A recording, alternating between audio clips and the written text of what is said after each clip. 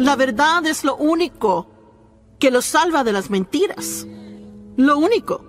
Uno de los primeros conjuntos de escrituras que Dios me reveló a mí cuando primero comencé a estudiar hace más de 40 años atrás fue Juan 8, 31 al 32. Si continúan, digan todos continúan. En mi palabra serán mis discípulos y conocerán la verdad y la verdad los hará libres. Amén.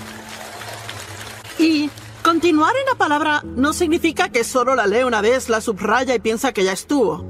El continuar significa que no solo la lee y la aprende, sino que también sigue adelante y la hace y la aplica a su vida. El solo leer la palabra no le hará libre. Es el hacerla lo que le hará libre.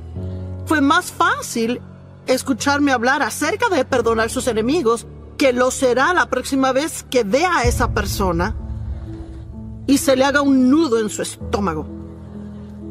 Y entonces acuerda, ahí es cuando es hecho libre.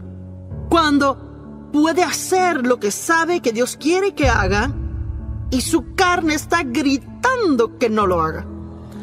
¿Verdad? Juan 1.14, la palabra se hizo carne e hizo su morada entre nosotros y hemos visto su gloria, la gloria del único y unigénito Hijo que vino del Padre lleno de gracia y verdad. Ahora bien, hablamos mucho de la gracia y todos aman la gracia porque es Dios haciendo algo por nosotros que no merecemos, pero Él no solo vino lleno de gracia, Él vino lleno de gracia y verdad. Así que cuando está dispuesto a caminar en la verdad, nunca se le acabará la gracia. Dios nos da la gracia para obedecer la verdad que leemos en la palabra. Él no nos da la gracia para cubrirnos aun cuando estamos haciendo algo malo.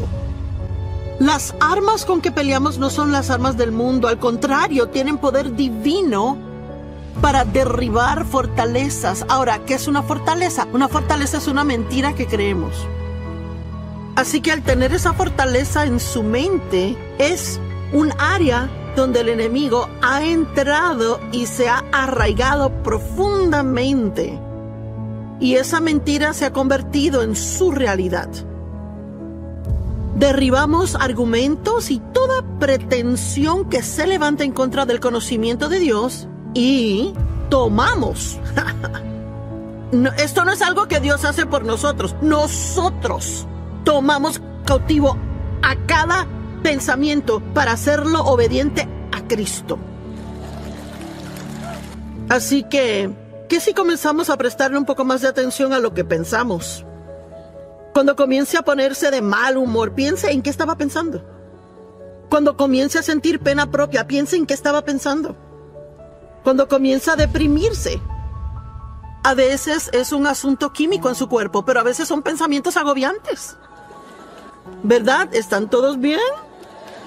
Cuando le toque estar alrededor de alguien que no le cae bien, tenga cuidado con lo que piensa de ellos en los días antes del evento. Porque si se pasa una semana pensando un montón de cosas malas, no hay esperanza de pararse frente de ellos y ser amable.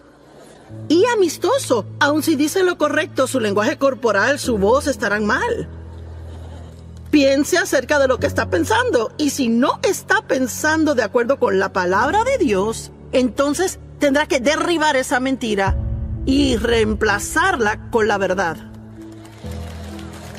Sus pensamientos le harán feliz. Sí, puede. ¿Cuántas personas están en una relación con alguien? Digamos que es un esposo, si tiene uno, o un amigo, o una mamá, o papá, o lo que sea, y siempre está pensando acerca de lo que está mal con esa persona y de lo que ellos hacen que le irrita. Y ha pensado de lo que está mal hasta el punto donde eso es todo lo que ve. Y sabe qué, puedo casi garantizarle que hay más cosas buenas que malas en ellos. Pero porque nunca piensa acerca de lo bueno, ahora se ha olvidado de eso y solo ve lo malo. Tome cada, cada pensamiento cautivo y hágalo obediente a Jesucristo.